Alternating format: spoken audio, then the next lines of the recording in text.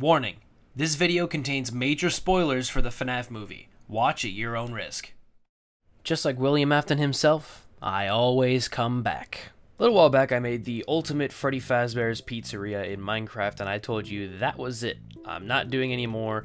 I don't feel like it. And I lied to you. At the time of recording this video, uh, it's been about a day and a half since I watched the FNAF movie, and I am in love. It was amazing, and I loved every piece of it. I don't care how corny some pieces were, I don't care. I, I don't. It was great.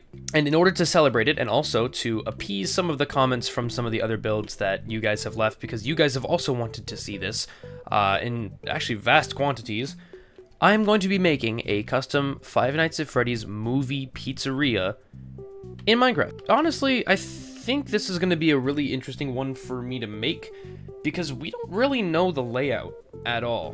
But with the help of a Minecraft 1.20 bedrock map that was made by someone named Cauft, there is a very cool FNAF movie map that is based off of the FNAF movie trailers and is a pretty rough but honestly seemingly accurate layout of the Five Nights at Freddy's movie pizzeria. So I'm to be using that as a bit of a rough reference for uh, what I'm to be making today, but I am to be adjusting some things. I did notice that since it's based off of the trailers, there are some pieces that, like, as I was going through it, it's, yeah, no, in the movie it's much different. So there are to be some adjustments being made, but honestly, I'm super excited because this is to be, this is to be a different kind of thing, and it's still to allow me to have some creative freedom with it because, you know, it's just a theory. So you guys know the drill. I'm to hop into a layout and then, uh, yeah, we'll see what happens. But before I get around to any of that, I do want to let you guys know that if you want to make something like this for yourself, there is a link in the description to the CurseForge mod pack called Tony's FNAF pack. You can check it out in the description. There's also links to the other mods that I've put in here as well. Some of them are just more furniture or simple things that add a little bit more to this world.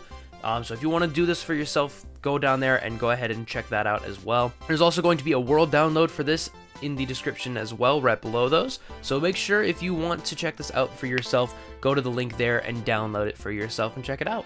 I also want to take this moment to quick ask you guys if you haven't already to please consider liking and subscribing. I'm trying to hit 10,000 subscribers before the end of the year, so we'll see if that actually happens or not, but that would be much appreciated if you did that. Anyway, let's get back into it. Alrighty, I think this is about the best I'm going to be able to get this to be. This looks really, really weird, but let me just explain what all is going on here. Uh, first of all, this kind of looks like a bunny head. Like, you know, there's the ear there, there's the ear there, and then you can see it like it kind of curves around there. Almost looks like the, the, the, the glitch trap suit dude. Freaky, huh? But yes, up at the top there is the lobby, that purple section there, and that is basically where you walk in and you see that big archway that lights up that leads into the main entertainment room, which is the pink blob in the middle here. And you'll see that there's those two yellow squares. Those are where the stages are, Foxy's Cove and the main stage, respectively. Uh, we also have the orange square, which is the prize counter. And then we also have that kind of diagonal, like, magenta piece there that goes in there as well. And that's actually that kind of diagonal area with the arcade and the ball pit. So that's... They're going to be interesting to figure out, I think.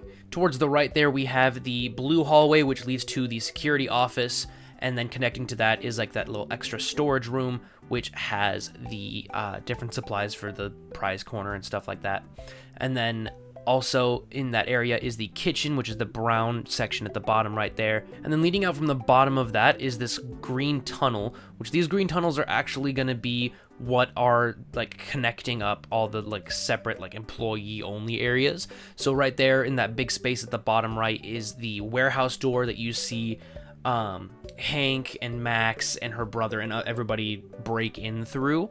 Um, so those those will be the double doors leading into the kitchen that he kicks in, etc., etc., blah blah blah. You'll see that that leads towards also the main area, and then another set of tunnels, which the other set of tunnels is where we see Hank run away from seeing Carl getting munched.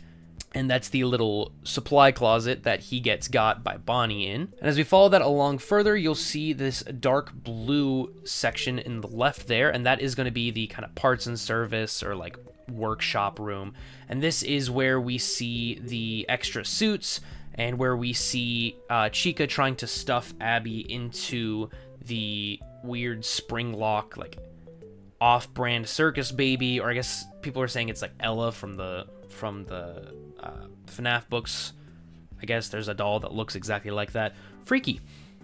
Uh, but yeah, that's gonna be that room. There's also gonna be another warehouse door in there, I think, just to be just to be kind of logical about it, because I feel like how would they get all the parts all the way from the warehouse door at the bottom right there? It just wouldn't make sense. So then following along that tunnel again, there's actually going to be a chain link fence, quote unquote, so I can be made out like iron bars or something. But that's gonna be separating that off, and that's gonna be uh, what we see at the beginning of the movie with the first security guard who gets trapped behind that and eventually gets got by Foxy. That's going to be separating that off. And then following that tunnel and that little blue square up at the top, that is going to be where technically from the vents that the first security guard emerged from and then ran away um, in that area up there. So this is a very, very, very custom layout. I don't think that this is going to be super accurate to the movie, but it's to the best of my understanding of where things are. I also forgot to mention that the green square up at the top there is the bathrooms, just because there aren't any anywhere else, so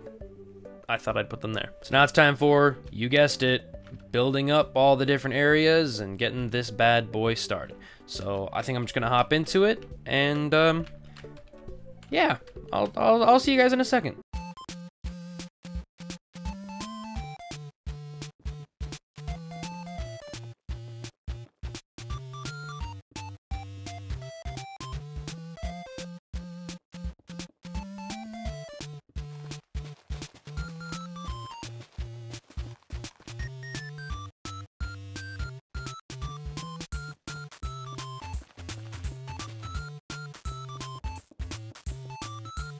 Here we are with a fully walled and roofed interior of the building. Now obviously some things are a little bit different from the movie themselves, uh, like this little alcove here, I think it's a bit bigger than what we saw in the movie, but you know, that, that's a minor detail. But you know, this, this whole area here I feel like is pretty accurate to what the movie is. Obviously I need to get the uh, tables and stuff set up in here, but that's going to be part of the next phase of creation. Um, but we have the stage set up, and I already went ahead and put in the animatronics just to make sure that uh, the stages were tall enough, and they are. And honestly, they look really good, like with this little border across the top. It feels like it's a complete and like centered attraction to the actual place, so that's really cool. We also have the ball pit area and the arcade. Uh, don't know what I'm going to use for the actual ball pit just yet, but we'll, I'll, I'll figure it out, honestly. You may also notice that I've used some vertical slabs. That's part of one of the mods that is in the uh, mod pack here. It is called Quark, and it features a bunch of vertical slabs that you can use for extra detailing in your builds. And honestly, I don't I don't know why vertical slabs aren't just a regular vanilla thing, because these are so useful. Like, look at this. I wouldn't have this barrier to the curtains here if this didn't, if, if these didn't exist. Like, I, I don't understand why they're not already a thing. But, you know, that's Mojang. You notice also in these uh, maintenance or service tunnels that there are these hanging lamps that kind of flicker on and off. And there is this quote-unquote chain link fence um, where the first security guard kind of gets got. So I thought, I thought that was a nice detail to have there. And then there's also the storage room here, which I'm also making the same storage room as where, um, in the beginning, where he comes out of the vent, and then also from later on where they discover the first spring lock, like, doll suit, which, that thing was creepy. Did anybody else think that that thing was, like, eerily creepy compared to everything else? We also have the setups for the bathrooms here, and honestly, the, uh, the vertical slabs make these a lot more interesting to walk through. You know, it's like an actual like sectioned off piece of the area. So that's really cool. We also have the prize counter, which is also featuring the vertical slabs as the actual counter itself. A little storage area for all this stuff back there. And then of course there's the security room, which I went ahead and also put in the breaker box, which I feel like is kind of clever. Obviously, I wish it was a red light coming out of that, but you know, it is what it is. And then of course the other exit as well. And the kitchen is all set up in here with its lighting. And I think the lighting here is perfect, if I'm going to be completely honest. There is so much happening in terms of the actual decoration of the place, or at least there will be. So having the lack of lighting, I feel like will add to that kind of mystery of the place. And it doesn't feel like it's too harsh at all. Like, especially in these hallways, they feel eerie and on, on, and of course, there's also the parts and service area, which I don't like that the, the doors don't block out the light. I wish they would, because that actually, that that's kind of frustrating. But I guess without further ado, let's go ahead and start decorating some of this place up. So, here we go. And here we are with the main party room all decorated and set up. Now, I'm honestly really happy with how this has turned out. And obviously, this isn't as decorated nearly as much as the other locations that I've done, but that's because I want this to feel like it's abandoned. There's not really much going on here. And uh, I think it has been pulled off pretty well. So we've got a range of different things like tables, booths, party supplies, plates, cups, all that kind of stuff on these tables. And it looks pretty much like it's been kind of just left behind, which is exactly what I was going for. So that's really awesome. But we also got different signs and decorations and hang things hanging from the ceiling. And of course, the drawing wall, we have the funny yellow bunny featured in the middle of all of the other drawings here. And I think this is a really nice detail that I used here because this is one of the old Fredbear posters. And, uh, you know, it's just a nice reference to the actual film. So that's pretty cool. I also have little machines here that are for your tokens for playing the arcade machines. And then also the ticket counter as well over by the prize counter which uh, this is actually pretty accurate to the movie because there's this big like vent shaft that goes across uh, the top here. So definitely something that I'm really happy with as well because there's these little vent blocks and stuff that they have in this mod, so that's really cool. And as per usual, we also have all of the different plushies and stuff at the prize counter. Nothing super new here because, you know, it's it's about the same as everything else we've done. So, you know, I'm pretty happy with it though. And the vertical slabs definitely help with like framing it. So that's really cool. I went ahead and also did the bathrooms as well. And there's nothing really super special going on in here. Uh, you know, just your usual bathroom stalls. And then also your kitchen sink and all that stuff As well as the trash can, which actually I didn't realize that you can actually throw stuff in there and destroy it. That's pretty cool. We also have little gumball machines, which are nice because, you know, gum, it's good. And then, of course, the arcade area as well. I did not put in the uh, ladder to the slide because it just didn't seem like there was enough room, so I didn't include that, but if you want to add it when you download this world, because I know that you're going to want to download it, ooh, you can definitely add that as well for yourself. But I do have all these arcade machines here as well as the ball pit. And now this is actually a really fun uh, block here because if you... Uh...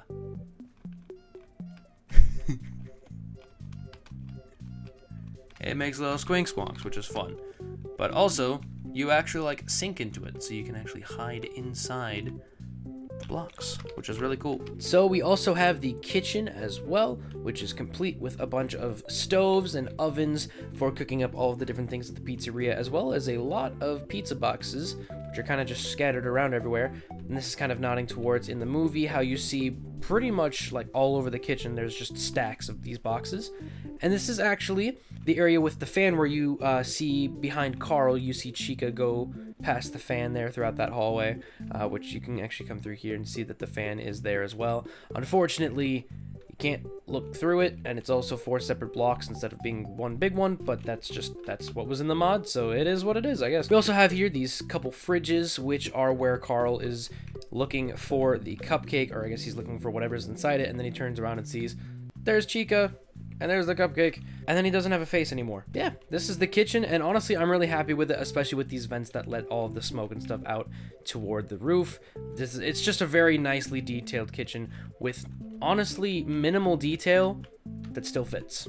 So next up we have the security office, and honestly this is probably one of my favorites so far just because of how much is going on in such a small space. So as you can see we have the iconic classic uh, desk and chair, we got the phone there as well as the poster on the wall. We also have his Nebraska poster as well on the wall, which is just a regular Minecraft painting, but it still gives off that same vibe. We also have behind here this little table that we see uh, Vanessa and Mike sit at when they first meet, and also we have the lockers, which unfortunately we can't necessarily open them physically, but there is a bit of a surprise if I open up the bottom section here. If I go inside the bottom here, you'll see that there's a little balloon boy inside here, which is kind of just alluding to the uh, little balloon boy jump scares that we would see in the movie. There's also this Bonnie plush as well, as if you uh, take a quick look at the lockers in the office, you'll see that there's a tiny little Bonnie plushie up top.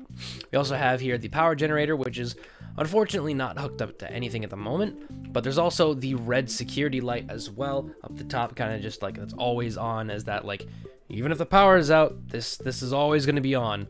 So it's a nice little nice little detail. We also have the hallway leading up to the office as well as the back exit here with the employee of the month wall, which you'll notice there might be a couple familiar heads on here as well. Which uh, you know, just, just saying, I'm a I'm a, I'm a pretty good employee. But also just a bunch of wires and stuff hanging from the ceiling as well as a little vending machine here. Because I feel like, you know, this is this is kind of the back area, the kind of break not necessarily break room, but you know, it's it's it's towards an area where employees can kind of chill out and get their stuff. So I feel like an, I feel like a vending machine isn't super far out of reach back here. So after the security office, I decided to do the storage rooms on the sides of the hallways and such. So this is the one where Vanessa and Mike were looking for the tablecloths, and then where eventually uh, they learned about the spring, the spring lock suits. And um, instead of having the weird doll thing, this is where this guy is. And this is because I feel like this is, I believe this is the same room at the end of the movie where they have dragged Mr. Afton to rot in his spring-locked cell. Um, I'm pretty sure it was the storage room. I could be wrong, but that's what it looked like in the movie, so that's where I assumed that he is now. If I'm wrong, don't tell me in the comments because I don't like knowing when I'm wrong. But yeah, this is mainly just a bunch of cardboard boxes and stuff strewn about everywhere, some extra chairs and tables and stuff like that, because, you know, it never hurts to have extras in your restaurant. Similarly, there's also this kind of corner storage room as well, and this is where Hank gets just absolutely destroyed by Bonnie. And um, yeah, nothing too fancy going on here. Once again, it's just a very simple room filled with shelves and cardboard boxes and stuff, and then plenty of room for Bonnie to stand in the corner and be an absolute creep. Finally, we have the parts and service area where we also have the Torture Freddy mask and the chair where both the old security guard and then also Mike get stuck and uh, only one of them survives. Can you guess who? Yes, we also have a couple of the Withereds in here as well, and this is to represent the uh, extra suits that the uh, the looters were stuffed in after they were killed in the restaurant. Um, so obviously, you know, we don't have Sparky the dog or Shadow Freddy or whatever the heck they actually are. Someone said that the one that Max was stuffed in was Mr. Hippo, and I'm just like, I hope that's true, because I love Mr. Hippo, he's great. But yeah, you know, it's your typical kind of parts and service. There's a bunch of tools and workbenches and stuff like that, and a bunch of random things laying around, and extra endoskeletons and parts and such like that. But I think this is pretty good for what it's worth, and also I think just having this centerpiece of the Freddy head is just really cool. Obviously, it's not attached, but, you know, we're not going to talk about that part. Side note, I did also replace the spring trap with an actual spring Bonnie because I didn't realize that this is a thing, but it's really cool that it is. Look at you looking at me. Big old eyes. So yeah, I replaced that with that because it's not exactly spring trap that gets stuck in here, it's spring Bonnie. So this is, the, yeah, this is way better. And finally, I wanted to leave this part for the very last because I just find it very funny. But this little area, there's, you know, not really much known of what actually is over here. So I've decided to make this a spot for Balloon Boy because he has such an annoying presence in this movie and he's kind of just the, the lingering joke throughout it. I figured I'd give him his own little spot in this little area here. So I think that's perfect right there. and with that, I'm pretty sure the interior to this place is completely finished. Now, obviously, nothing is like 100% accurate to the movie, as there are definitely things that can be adjusted, but honestly, I'm super happy with how this has turned out. This has been an amazing project, and I think all that I have left to do now is make a facade for the front, because right now it's just a weird random shape of a building, so I'm to make a little facade and make it look all pretty from the front, and uh, not do a full building because I don't I don't wanna. So let's go ahead and go out and do that and give me just a moment and we'll see how it looks. And so here we are with the outside of Freddy Fazbear's Pizzeria. Now I did make a bit of an extension off the side here from what we actually see in the movie because about this chunk here, right here, that's about where it cuts off. It's just this much that we see. So I had to extend it a little bit in order to cover up the extra like service tunnel and stuff like that. But I think I think it looks good. But yeah, this was honestly very fun to put together. I had a blast making this, and it was nice to kind of hop back into it after a little while of, of not doing anything like this. Now, this this is going to be my last one. I swear to God, like, I'm not making any more of these. I'm, I'm done. These are done. but seeing this come to fruition was really cool, and especially after just seeing the movie, like, this, this is really cool. And being able to have this now in Minecraft is such a really cool thing to see Now, I did go around and add a few more details as well, like I added some of the extra wall sconces, and I also reduced the size of the archway. It used to be 4 wide, now it's 3, in order to center the entrance and make room for the sign outside to actually be centered. So, made a bit of an adjustment, but, you know, that's the beauty of these kinds of things, is you can just adjust them as you go along. So that is going to do it for this video. I hope you guys enjoyed, and like I said, thank you so much for being part of this series. Like, you guys have been really fun to see, like your guys' reactions to the different builds that I've done and all that. Um, unfortunately, I, you know, I made the joke about how I always come back, but like this, this is it. I'm not this. I'm done with these. I'm moving on to bigger and better things, baby. But if you did enjoy, please consider leaving a like, and if you really enjoyed, consider subscribing. And if you haven't watched the other videos in this series, there's a link in the description to the playlist that has all of them in there, so go check those out as well. And uh, yeah, I hope you guys all stay safe. I love you all, and until the next video, I will see you later. Bye!